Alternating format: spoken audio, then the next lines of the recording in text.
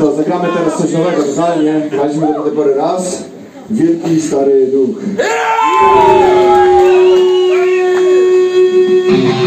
duch.